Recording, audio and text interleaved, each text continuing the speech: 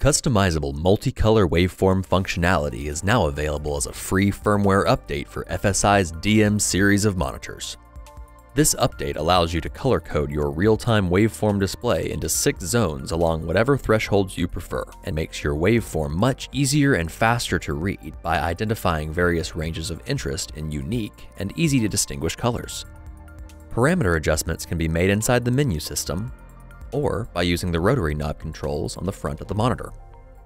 Multicolor waveform works in IRE, digital levels, voltage, and HDR graticule modes. For more information about this feature, visit flandersscientific.com.